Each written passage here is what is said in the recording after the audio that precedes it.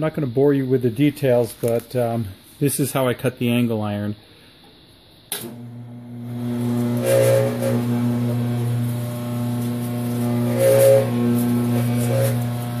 So if you look at the angle iron, what you'll see is this is the angle iron. I need this piece right here, so I'm cutting right there vertically.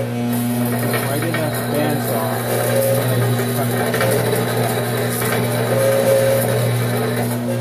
Cut I'm going to make is along that chalk line that I drew right there.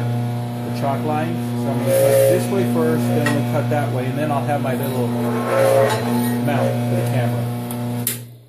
So, like I said, I'm not going to show you every bit of it because it's just a bandsaw cutting a piece of metal. Okay, so uh, what we have here is the piece of metal. And I cut up this way, then I cut across that way, and here's what I need.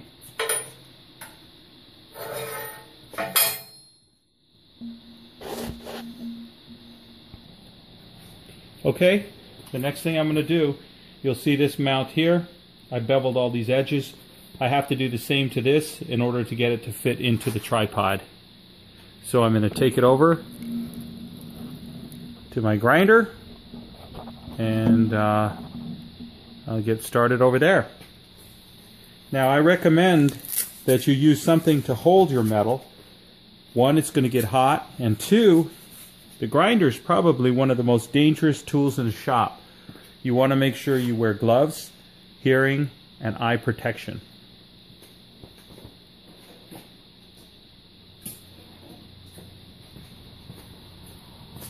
So here I have a pair of vice grips and I'm just going to put about a 45 degree angle on four sides.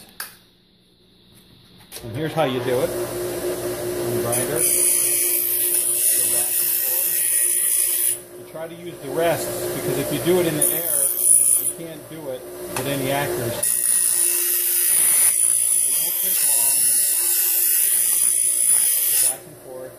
And you can see right there that I'm already getting a beveled edge.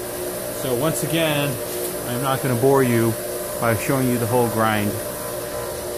Now, one thing you will notice is that as you grind back and forth, you want to make sure that this is consistent, this edge. And if you look right here, you can see the metal. The metal's right there. That metal, you can see that line is thicker over here and thinner over there, so I need to grind over here. And you just basically want to get it till it meets the bottom edge. So just keep grinding.